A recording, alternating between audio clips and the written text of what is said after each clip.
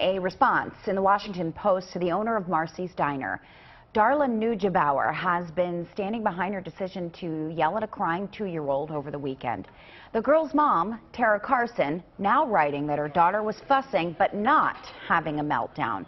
She says no one in the diner seemed to notice, so they didn't take her outside in the rain. And as to Marcy's Diner, Carson writes, quote, it's never okay to yell at a baby, especially if you own a restaurant. You should care about providing good service to their patrons.